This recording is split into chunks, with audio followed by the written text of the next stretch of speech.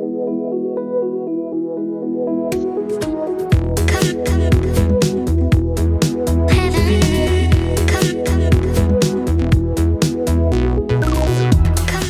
Esta vez nos acompaña Pato Bustamante, integrante de Artas, un espacio que ahora ya nos va a contar en qué momento surge y cuál fue el contexto. Eh, promotoras contra la violencia de género. ¿Cómo estás, Pato? Muchas gracias. No, muchas gracias por el espacio. Es lindo poder participar y ser parte de estos espacios para discutir algunas problemáticas que atañen a la cuestión de género en la provincia. Y eh, bueno, como te comentaba, como les comentaba, nosotros somos hartas, jóvenes en emergencia, pertenecemos a la campaña nacional por la declaración de la emergencia eh, nacional contra la violencia hacia la mujer. Y eh, surgimos en la Facultad de Humanidades específicamente porque muchas compañeras jóvenes empezaron a denunciar situaciones de violencia con compañeros y también con docentes entonces, eh, al visibilizarse todo eso dentro de la facultad, creíamos que teníamos que tener una herramienta para poder discutir y organizarnos como mujeres, eh, de mujeres estudiantes dentro de la facultad. Y después, en un momento donde la pandemia se puso muy cruda y las situaciones de violencia aumentaron en los lugares, en las casas específicamente, porque imagínate... el aislamiento, la situación de encierro, de hecho dejó un una serie de números y de, datos que, reflejaron. Especialmente en nuestra provincia, ¿no? Exacto. Especialmente en nuestra provincia y ese aislamiento generó mucha más violencia y las mujeres no podíamos salir, entonces... Eh, nada, se desataron muchas situaciones de violencia y nosotras queríamos estar como para acompañar a las mujeres y después también durante ese tiempo se negó mucho el acceso a la salud sexual y reproductiva de las mujeres eh, porque por ahí iban a buscar un anticonceptivo o algo de la salita y le decíamos estamos en pandemia, vuelve otro día, te tienes que hacer un estudio. O sea, se fue relegando muchos derechos de las mujeres en, ese, en esa situación de aislamiento. Entonces nosotras como para garantizar los derechos, denunciar, hacer contactos, redes, porque también trabajamos con profesionales, con otras instituciones. Eh, no es que estamos solas, sino que somos un montón de instituciones, agrupaciones, colectivas, eh, sindicatos que acompañan eh, y cuando tenemos alguna dificultad o alguien que necesita atención, por ejemplo, la multisectorial de mujeres a las que pertenecemos. Un asesoramiento, tenemos donde asistencia. Sí, contándote un poco que somos muy jóvenes, la mayoría tenemos entre 17 y 28 años, entonces por ahí algunas están en el secundario, otras están en la universidad, otras son profesionales, pero con la característica que somos jóvenes y tratamos de ver las problemáticas de la juventud. Claro que eso también está bueno, ¿no? Porque por ahí dentro de, la violencia siempre decimos es transversal y en esa transversalidad va atravesando precisamente distintas esferas sociales y en este caso también distintas edades, ¿no? Eh, punto seguro, también me interesa hablar de eso que, surge a partir de, un contexto de aislamiento, de mucha violencia, como bien eh, lo decías, y también, ¿no? Eh, brindar espacios a las mujeres para poder pedir ayuda. Bien, Punto Seguro surge así específicamente en el 2019, el año pasado. Nosotros, el, a mí como que me emociona y me pone re mal y todavía me cuesta muchísimo hablar, por, capaz porque nos atraviesa, porque eh, la discusión de la violencia de género en octubre, septiembre del año pasado se llevó a todos los hogares, a todos los contextos, a todas las instancias. Nosotros hicimos talleres con colectiveros de, una empresa de transporte de Jujuy. Imagínense lo que es charlar con 40 hombres sentados de perspectiva de género, violencia de género, ya era muy fuerte. Y ellos nos contaban, o sea, como un relato propio, cómo habían vivenciado eso ellos y decían, no, yo le digo a mi hija que no salga, yo la voy a buscar, ya no puede salir, eh, me da miedo. Eh, todo eso, o sea, cómo a todos nos atravesó y entonces lo llevamos a diferentes instancias de la vida a discutir. Y Punto Seguro surge en ese momento porque en Palpalá muchos locales comerciales después de el femicidio y cómo se encuentra Yara Rueda, pensemos que Yara Rueda iba a buscar la tarea. Sí, sí, claro. A no más de cinco cuadras, seis cuadras de su casa. Pensemos que Gabriela Cruz iba al negocio entonces muchos negocios y locales comerciales de Palpalá empezaron a decir, bueno, pongo mi local a disposición y lo ponían en sus redes, lo compartían con los vecinos, estás pasando una situación de violencia, acercate. Y nos pareció una iniciativa tan buena, o sea, tan, tan pura, útil, y necesaria y también de organización y compromiso ante la falta de políticas estatales eh, de los propios vecinos, del pueblo. Eh, entonces, ante esa falta de políticas, ante esa falta de espacios seguros para las mujeres, niñas y jóvenes, eh, se decidió poder afrontar esto desde poder organizarse el pueblo. Lo que nosotros hicimos fue diagramar, o sea, que, que, no fuera, bueno, yo pongo un pañuelo rosa, yo pongo un moño violeta, sino darle un símbolo a todos los puntos seguros. O marcarlos. Claro, así como cuando ves prohibido estacionar y sabes qué significa prohibido estacionar y ves la E con el círculo rojo. Bueno, de la misma manera eh, intentamos que Punto Seguro fuera eh, el logo de la campaña de la emergencia y eh, recorrimos la provincia, tenemos puntos seguros desde La Quiaca hasta Libertador.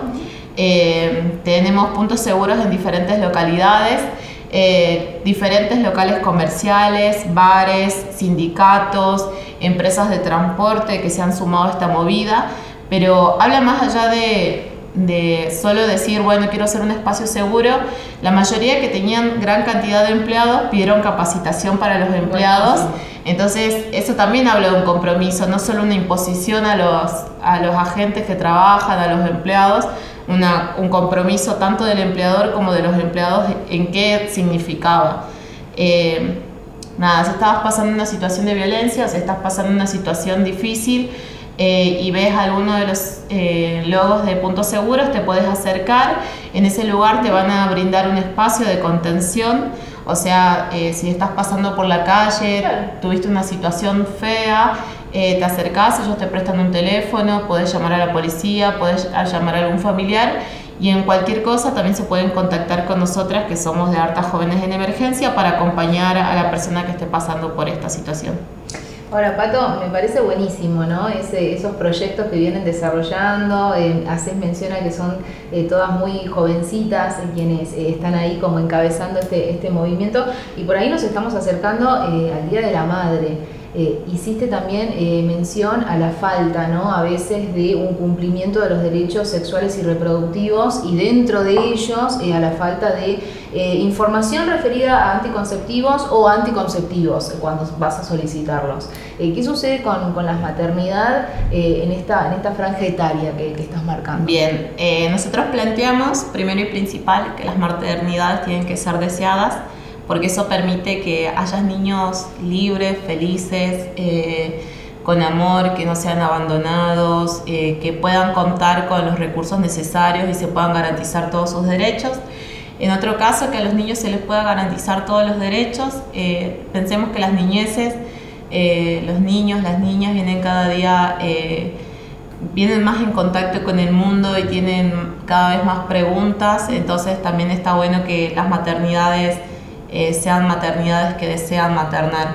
Y después, para nosotros es importante también plantear eh, que el Día de la Madre no es solo el día en que tenemos que reconocerlas, sino que hay un arduo trabajo detrás de cada mujer que decide maternar o que, bueno, ha maternado y está maternando, que la tarea que hace en la casa no es, eh, la hace porque es la mamá, sino que también es un trabajo y muchas de las mujeres en Jujuy hoy salen a trabajar en empleos y después vuelven a la casa, cocinan, lavan, limpian y entonces hay que hablar de la doble jornada laboral que cumplen muchas de las mujeres que deciden maternar y que deciden criar a sus niños.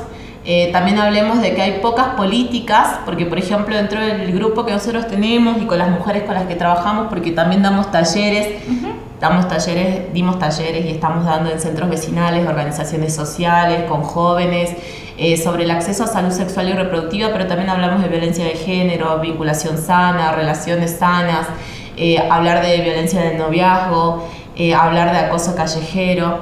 Todo eso también nos interesa abordarlo y lo tratamos de abordar en los espacios de talleres que vamos organizando.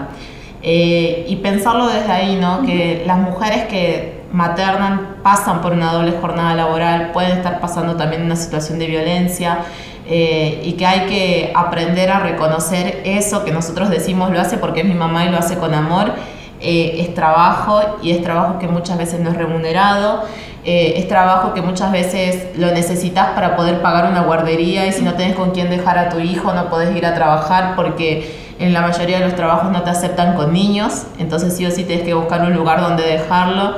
Eh, también eh, recordemos que, eh, por ejemplo, la ley, lo que han ganado los trabajadores estatales en relación a la licencia que yo aplaudo a las compañeras de los diferentes sindicatos estatales, ATE, APUAP, que han logrado y luchan por la licencia para que los padres también tengan la misma licencia y que una mujer que acaba de tener un hijo eh, pueda compartir y sea compartida la tarea de crianza, que no solo sea la responsabilidad de la mujer llevar a cabo la tarea de la crianza. Eh, y nada, está muy bueno poder empezar a cuestionarnos el compartir, compartir las tareas del hogar, compartir las tareas de crianza. Eh, que no simplemente por ser la mamá tenés la obligación de hacerlo y creo que es la mejor manera de honrar a nuestras madres. El Día de la Madre, ojalá podamos nosotros servirles, nosotros acompañarlas y no solo el Día de la Madre, sino el resto de los días, porque también son personas que necesitan eh, espacios, necesitan tiempos, necesitan distracciones y ser mamá no, no es lo único que, eh, para lo que está destinada una mujer, eh, sino también para muchas otras cualidades que tenemos. Entonces está muy bueno poder charlarlo y discutirlo y que las maternidades cada vez sean más compartidas, ¿no? Porque, o sea, te ayudo, eh, te colaboro, comparto. A veces nosotros con el grupo de amigas decimos, bueno, trae al nene y nos juntamos todas con el nene y nada, todos jugamos con el nene, el nene está en la reunión, la nena está en la reunión y y aprender a que son niñeces también, ¿no? Que eh, ser mamá no te desvincula de ser persona, de ser mujer. Eh, y que no le regalen, no, no mentira. Eh, no, hay algo que, por ejemplo, hoy día veía un producto que se estaba regalando para el Día de las Madres en un local comercial, no, quiero, no lo voy a nombrar, ah, canasto de regalarle a mamá el kit. Claro. Y era el, cana, el cesto de ropa, el balde, el tacho de basura, todo de color violeta. Y yo decía, bueno, no, honremos a mamá, a la mamá también le gusta el asado, a la mamá también le gustaría un vino, una cerveza. Un día de spa. Un día de spa. Eh, sí, cualquier cosa también y tratemos de salir del estereotipo de género, del delantal, la olla. Eh, a las mamás también les gusta hacer deportes. Hay hoy día muchas mujeres juegan al fútbol, a las mamás les gusta hacer un montón de cosas y que ser mamá no te define en gustos, formas y maneras de actuar, sino que hay que aprender a romper con esos estereotipos porque no hay maternidades perfectas, no hay un estereotipo de maternidad, la maternidad tiene que ser como cada mujer decida vivirla. Pato, ¿cómo las buscamos por último en las redes?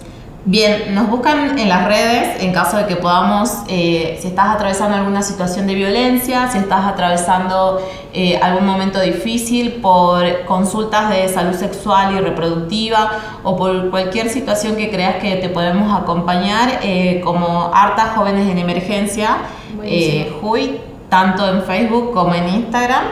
y después, si no, tenemos un número de teléfono que es el 03 885 19 0805. Perfecto.